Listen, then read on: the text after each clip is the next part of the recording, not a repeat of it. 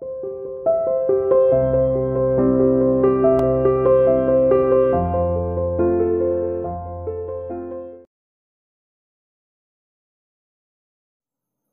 students, welcome to CR International online classes. बेटा today we discussed about the tourism कि पर्यटन पर्यटन के बारे में आज हम डिस्कस करते हैं कि पर्यटन क्या है लंबे समय तक एक ही प्रकार की लाइफस्टाइल या एक ही काम करते रहने से मनुष्य बोर हो जाता है।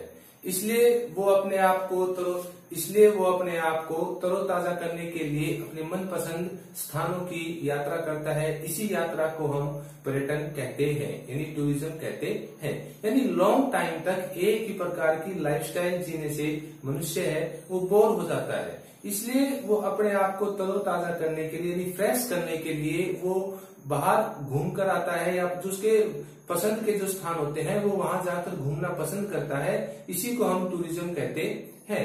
आज विश्व के, यानी आज प्रेजेंट टाइम में विश्व के 25 करोड़ पंजीकृत रोजगारों में से, विश्व के 25 करोड़ पंजीकृत रोजगारों में से पर्यटन ही एक ऐसा क्षेत्र ऐसा क्षेत्र है जो तीर्थकलाप का सबसे तेज़ी से उभरता हुआ क्षेत्र है। और जीडीपी में इसका योगदान 40 परसेंट है। जीडीपी में इसका योगदान 40 परसेंट है। जीडीपी मतलब ग्रोथ डोमेस्टिक पर्पज में इसका योगदान है। वो 40 परसेंट है। इसके, इनके अतिरिक्त पर्यटकों के रहने के लिए, खाने के लिए उनके उनके लिए परिवहन की सुविधाएँ उपलब्ध करवाना, उनके लिए जैसे लॉन्ड्री वगैरह, होटल, रेस्तरा, इस तरह की जो सुविधाएँ हैं, इनकी भी आवश्यकता होती है। इसलिए जो पर्यटन है, वो काफ़ी लोगों को रोज़गार प्रदान करता है। इससे काफ़ी लोगों को रोज़गार प्रदान करता है, क्योंकि बाहर से जो लोग यहाँ पर घूमने आते हैं उनको रहने के लिए होटल चाहिए, घूमने के लिए गाड़ी चाहिए और इवन किसी वो प्लेस पर जाते हैं, उसके बारे में जानकारी लेने के लिए उनको एक गाइड भी चाहिए जो उनको उस प्रदेश के बारे में प्रॉपर जानकारी बता सके कि इस प्रदेश में क्या क्या है क्या क्या इसकी खामियाँ हैं।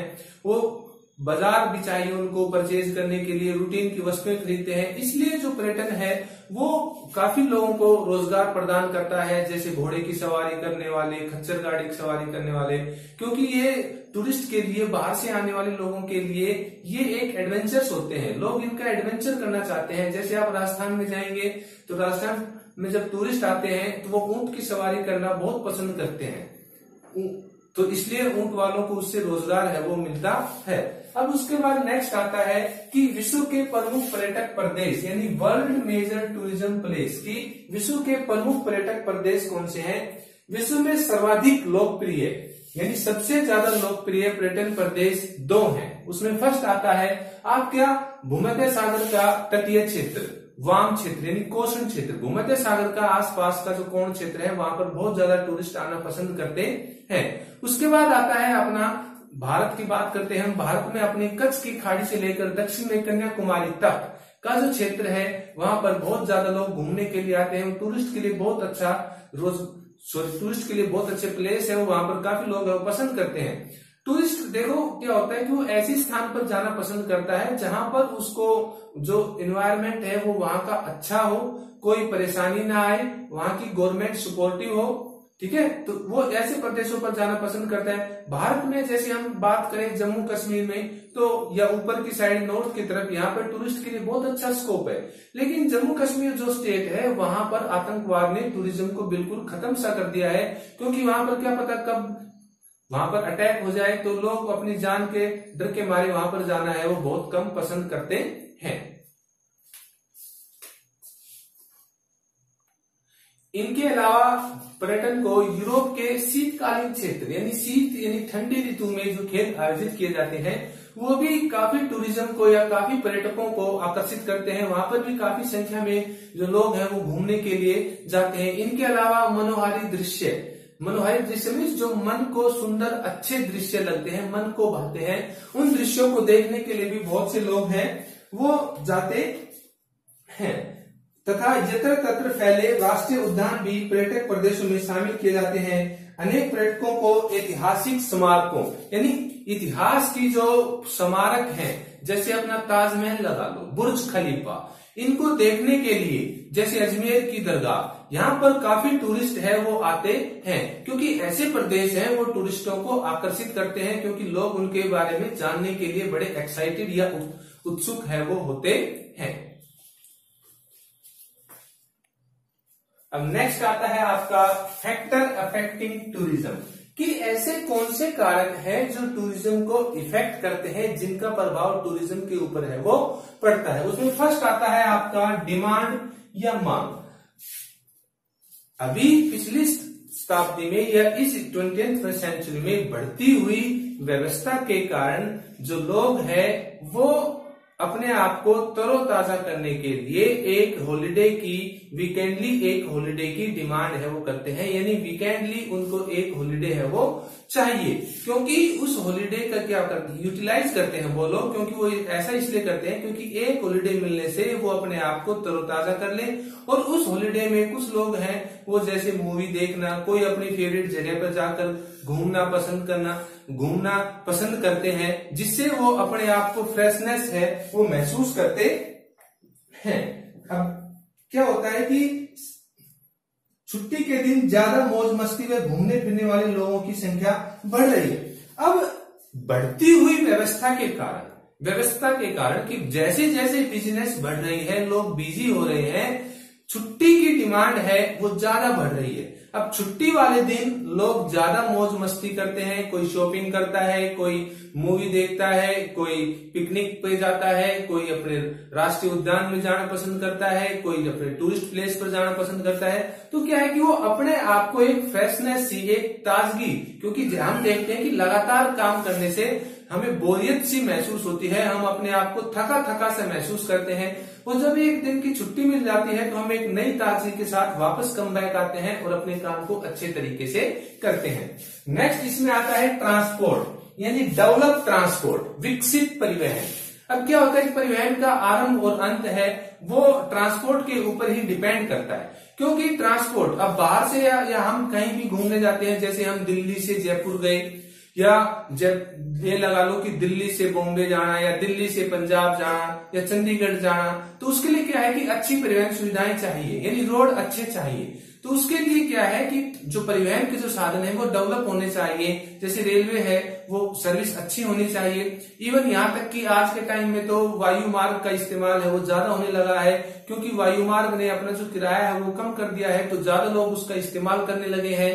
वायुमार्ग ने विश्व के किसी भी कोने की दूरी को नाइन आवर्स से ज़्यादा नहीं रखा है। नौ घंटे में हम विश्व के किसी भी कोने में जा सकते हैं। तो इसलिए क्या है कि परिवहन के साधन वो काफ़ी डेवलप हो गए हैं, लोग इनका इस्तेमाल है, वो बड़ी कुशलता पूर्वक कर रहे हैं। नेक्स्ट आता है आपका पैकेज और प्रबंधन।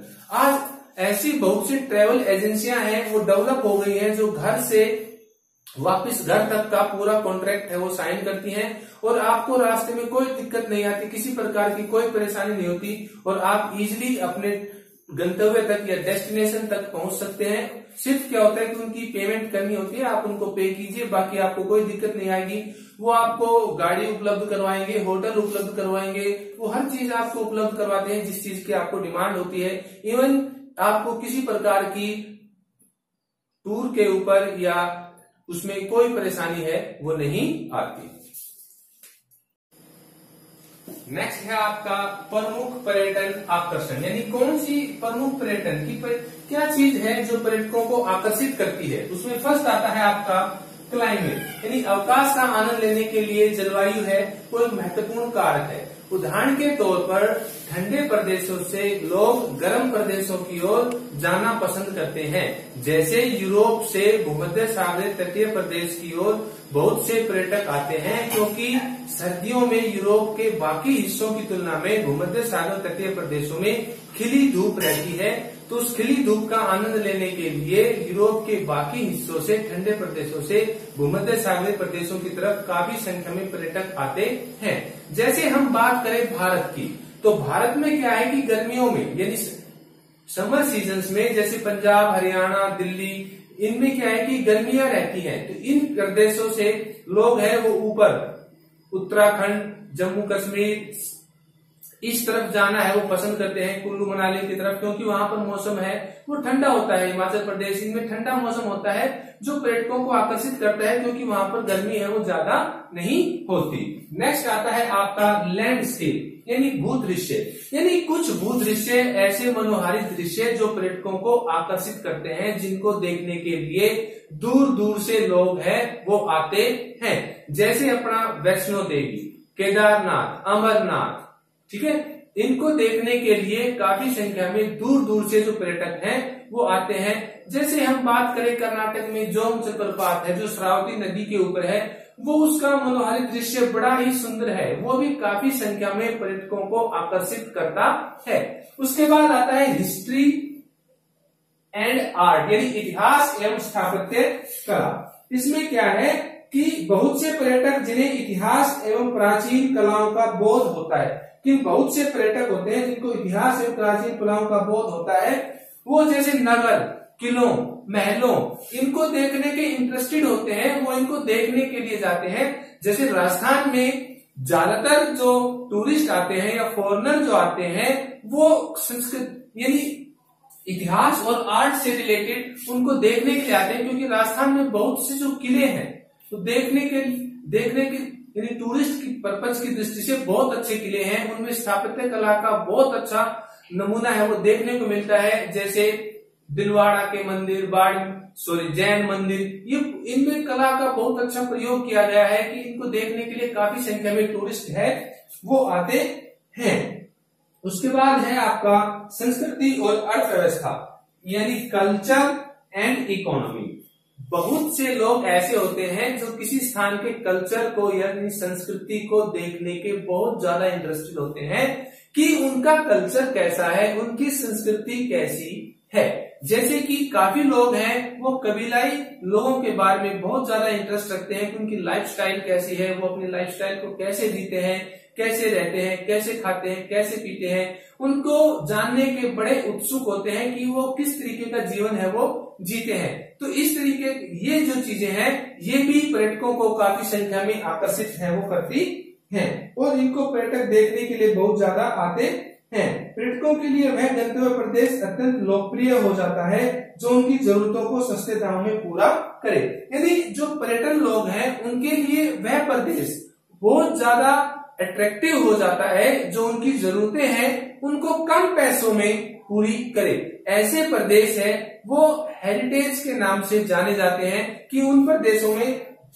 जो उनकी आवश्यकताएँ होती है, वो आसानी से पूरी है, वो हो जाती है। और उनको वहाँ पर चोरी, चकारी और लूटपाट का कोई भय है, वो नहीं होता। ठीक है? तो जैसे मैं आपको बताना चाहता हूँ कि भारत है, वो पर्यटन की दृष्टि से काफ़ी लोकप्रिय है, यहाँ पर फॉरनर है, वो काफ़ी आते हैं। भारत के बारे में जानने के बहुत इच्छुक है कि भारत में क्या क्या होता है क्या क्या नहीं होता। इसलिए पर्यटन, जैसे आपने टीवी में एड भी देखा हो कि अतुल्य भारत पर्यटक है, वो एक अतिथि है, हमें उसका सम्मान करना चाहिए और गवर्नमेंट है, वो भी इसके प्रति बहुत ज़्यादा अवेयर हो गई है। अगर हम किसी पर्यटक के साथ किसी प्रकार की कोई बदतमीजी करते हैं तो उसके लिए बहुत सख्त कानून बनाए गए हैं। क्योंकि जो पर्यटन है, वो हमारे देश में आते हैं। हमारे देश के लोगों को उनसे रोज़गार मिलता है, हमारी इनकम बढ़ती है।